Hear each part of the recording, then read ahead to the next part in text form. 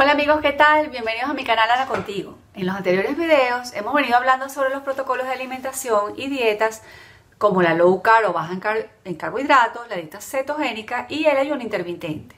Y es que durante décadas las grasas saturadas y el colesterol han sido responsabilizados de los problemas cardiovasculares. Sin embargo, las investigaciones ya señalan reiteradamente que los verdaderos enemigos de la salud son otros, las grasas trans, hidrogenadas y semi-hidrogenadas que están presentes en la mayoría de los alimentos procesados y el dulce enemigo, el azúcar.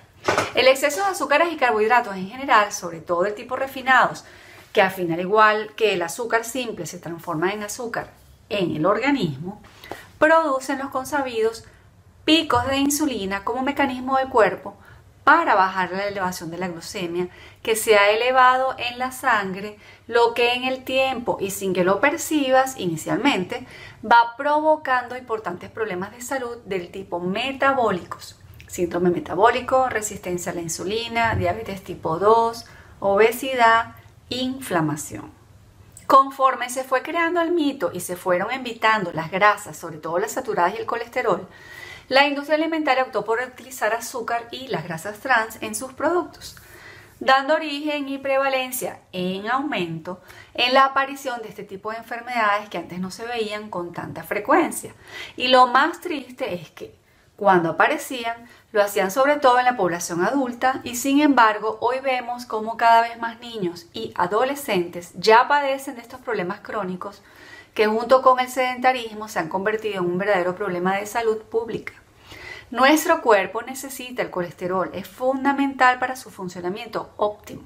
Construye membranas celulares, interactúa con las proteínas que se encuentran dentro de las células y es muy importante para la salud de nuestro cerebro, de nuestros niveles hormonales, para bajar el riesgo de enfermedades cardíacas y más.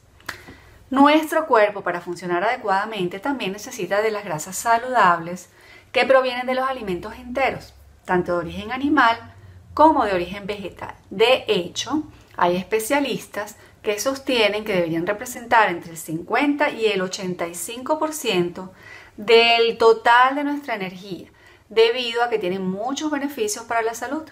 Construyen membranas celulares, hormonas y otras sustancias parecidas a las hormonas. Las vitaminas A, D, E y K son liposolubles, es decir, que necesitan de la grasa que se obtiene de forma natural en los alimentos de origen animal junto con las vitaminas para poder ser absorbidas. Convierten los carotenos de los alimentos en vitamina A. Ayudan con la absorción de minerales como el calcio. Actúan como antivirales, como es el caso del ácido caprílico que contiene, por ejemplo, el aceite de coco. Ayudan a bajar el colesterol cuando está en niveles desajustados. Son un combustible óptimo para nuestro cerebro. Como ofrecen mucha saciedad, son un gran aliado en la pérdida de peso. Es mucho menos probable que comas en exceso si llevas una alimentación alta en grasas en comparación con una alta en carbohidratos. De hecho, lo más probable es que este tipo de alimentación o dieta te lleve a la adicción a los carbohidratos. Acá abajo te dejo un video relacionado en donde te explica muy bien cómo se produce la adicción a los hidratos y cómo puedes eliminarlas, no te lo pierdas. La mayoría de las personas que constantemente se quejan de que siempre tienen hambre probablemente consumen demasiados carbohidratos y no suficientes grasas. Cuando llevas una alimentación alta en carbohidratos, además de producirse la adicción, si se consumen durante mucho tiempo, se bloquea la capacidad del cuerpo para quemar grasa, lo que significa que toda la grasa corporal permanece en el mismo lugar y se te va acumulando, porque nunca la llegas a emplear como combustible debido a que tu cuerpo siempre va a optar como primera opción los hidratos de tu dieta. Uno de los beneficios que tiene el cambiar una alimentación alta en carbohidratos por otra alta en grasas es que eventualmente vas a recuperar la flexibilidad metabólica que te va a permitir ser más eficiente quemando ambos tipos de combustible, tanto las grasas como el azúcar del cuerpo. Y esto resuelve la mayoría de los problemas. El hambre y su ciclo de comer en exceso, la inflamación y otros procesos y enfermedades relacionados que van minando y van mermando tu salud. Por esto es que he venido recomendando las dietas bajas en carbohidratos. Si no has visto los videos, acá abajo te los dejo. Dieta baja en hidratos, dieta cetogénica, que viene siendo un paso más avanzado, junto con el ayuno intermitente que potencia sus efectos saludables. Por ejemplo, llevar una alimentación cetogénica cíclica es muy efectivo para recuperar esta flexibilidad metabólica, bajar la glucemia y mejorar la sensibilidad a la insulina. El componente cíclico en la alimentación es una diferencia sustancial en nuestro tema de hoy, ya que si estás constantemente en cetosis, pierdes esta flexibilidad metabólica. Llevar una alimentación que le permita a tu cuerpo quemar grasa como principal fuente de energía en lugar de los azúcares, lo convertirá en un quemador de grasa eficiente. Pero es necesario bajar el consumo de carbohidratos de manera importante y subir el de grasas manteniendo las proteínas hasta completar la cantidad de calorías totales que tu metabolismo basal requiere más tu gasto calórico. En esencia, una alternativa es que una vez que ya estés adaptado o adaptada a la cetosis, puedes reiniciar el consumo de carbohidratos saludables no refinados durante el día o puedes incorporarlos solo en los días de la semana en los que haces más gasto calórico como por ejemplo cuando realizas los entrenamientos de fuerza. Este tipo de alimentación cíclica, en donde limitas muchísimo los hidratos de carbono y subes las grasas y luego vuelves a incorporar los hidratos, proporciona beneficios importantes. Pérdida de peso. Perder peso y o mejorar el control del peso se vuelve sumamente fácil al reequilibrar la química del cuerpo. Los estudios han demostrado que una alimentación cetogénica puede duplicar la pérdida de peso en comparación con una dieta baja en grasas.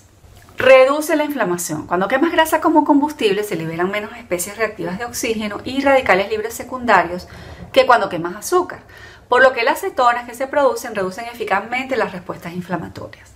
Reduce el riesgo de cáncer. Aunque todas las células, incluyendo las cancerígenas, pueden utilizar la glucosa como combustible, las células cancerígenas carecen de la flexibilidad metabólica necesaria para usar cetonas, mientras que las células normales progresan con estas grasas. Una vez que el cuerpo entra en estado de cetosis nutricional, las células cancerígenas son más susceptibles de ser eliminadas por tu cuerpo a través de un proceso que se conoce como autofagia. De tal manera que una alimentación cetogénica cíclica puede ser una herramienta fundamental que puede integrarse en el tratamiento de casi todos los tipos de cáncer. Aumento de la masa muscular. Las cetonas en un proceso de cetosis cíclico ahorran aminoácidos de cadena ramificada, favoreciendo así el crecimiento de la masa muscular.